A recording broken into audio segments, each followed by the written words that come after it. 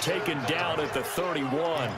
Only three yards on the catch. It's third down. The Chiefs on third down. They've had their troubles. Just one for six. This is third and seven. Here we go. Right there. 54. Right there. Right there. 54 Mike. Let's go, D. Tighten up. Let's go, D. Tighten up. Ready. They'll set up a throw. He's going to float this one deep right side. And that's caught inside the 30.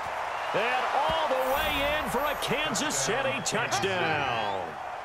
Jamison Crowder, his first touchdown on the year. And the Chiefs are able to extend.